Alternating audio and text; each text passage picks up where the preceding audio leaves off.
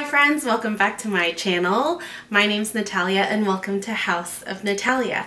Today I have a review and first impressions of the Jouer foundation and it is a 0.6 fluid ounce foundation so it's actually a lot less. This foundation retails for $38 on the Sephora app so I'm shaking it really well. It's got a glass packaging, so feels really sturdy. It's so small, like look at the palm of my hand. It fits right in the palm of my hand. This one is just the one that I had I had done a previous video on, Stellar Limitless Foundation. If you haven't checked that out, go ahead and check it out. But it's definitely a lot bigger. This one is obviously one fluid ounce, which is the standard size of foundations.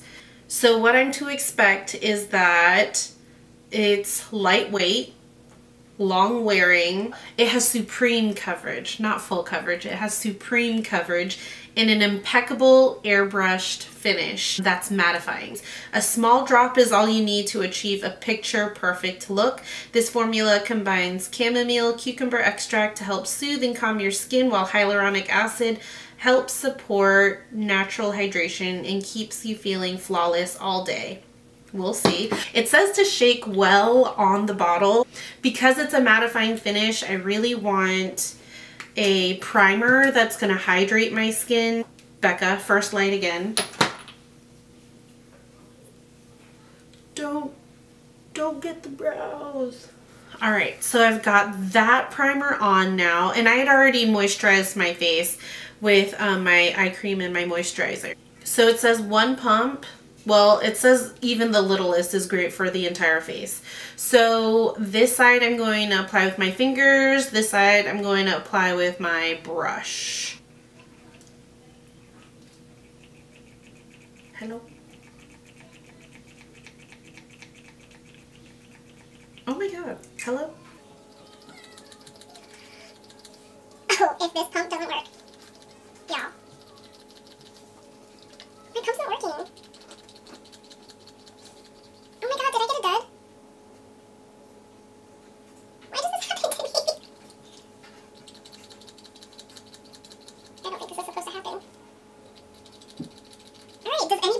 pump's not working.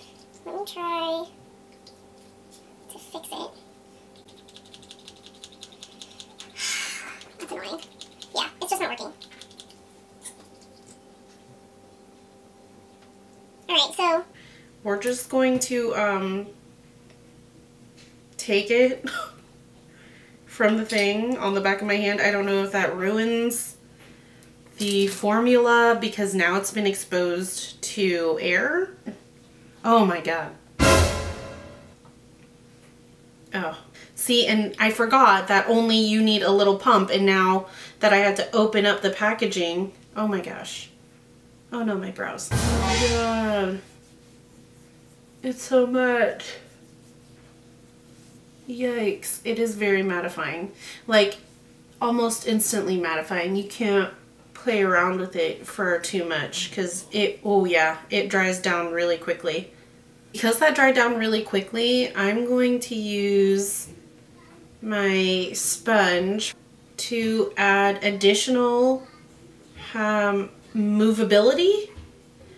Yeah, look at, that's normally where I have my um, sunspot.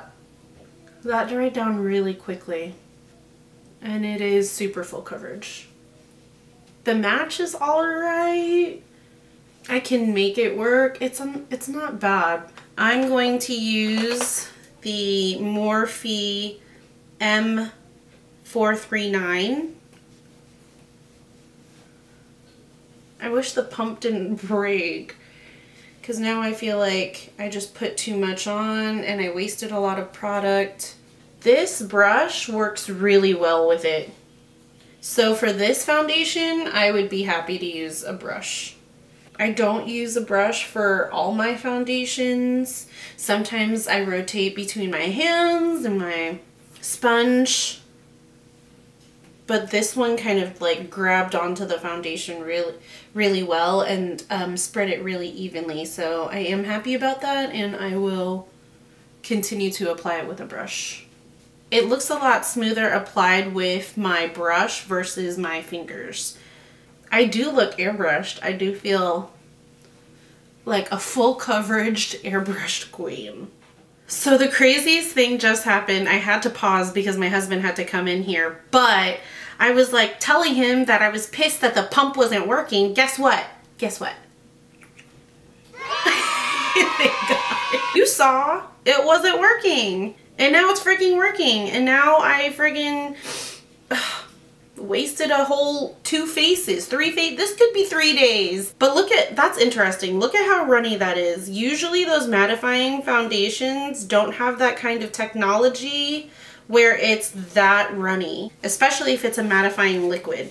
I'm gonna go ahead and apply the rest of my face. This will be fast forwarded.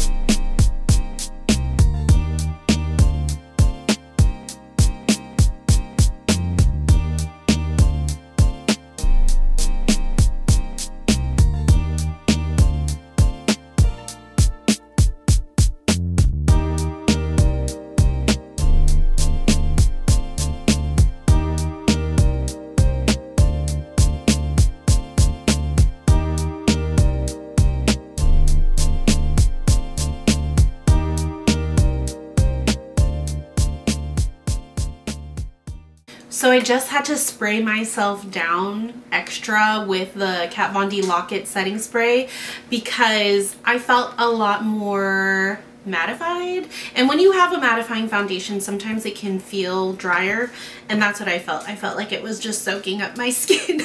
so um, this is the final look. The time is 9.59 so basically 10 o'clock. Um, I get off of work at 8 so I'll come back and check in then. I'll try to check in throughout the day. I don't know if I can, but I will try to. Um, you guys, I am finally back from work. If you can see it, the time is 7.30. So, how long have you had this makeup on, Nataliah? I've had this makeup on now for about nine hours, a little over nine hours. And I literally can't wait to take this off. um, I did nothing to touch up.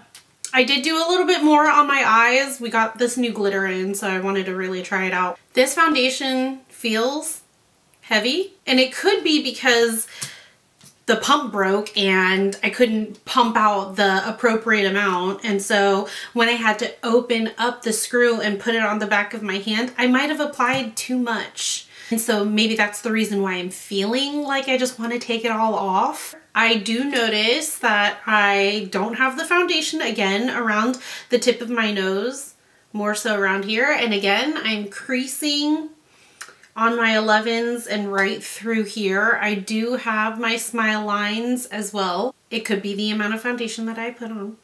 But I am noticing some separation like right around here too. And accumulation of foundations right around my nose area. Blush is still on, which is great. Yeah, I'm just creasing so much, so much more than what I want. And it could be the amount of foundation that I put on.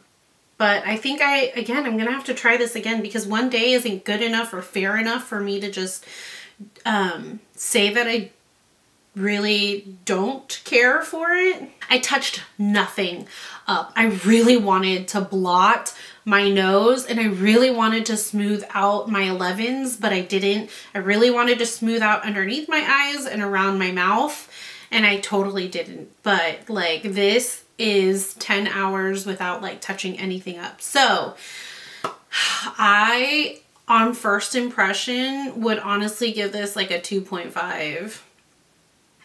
Three if I'm being generous. I do want to try this again and give this another shot. I'm going to play around with layering with it.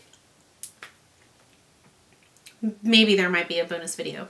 749 p.m. It's been around about eight and a half hours of me having this on. Today, because I only did one pump, it's all right. I do still feel matte. Do I like this foundation? The application is so much better with a brush. I'm not completely blown out of the park with it. It is amazing how full coverage it is for how thin the texture is. It has a really quick dry down, so you have to play with it really quickly. I find that it does oxidize a little bit, just a little bit. I also want to add that it still feels heavy but I'm still getting the feeling of like, I can't wait to take this foundation off. um, I'm gonna go do that. Make sure you hit like, make sure you comment and subscribe. I'm gonna come at you with more videos and I'll see you in the next one. Bye.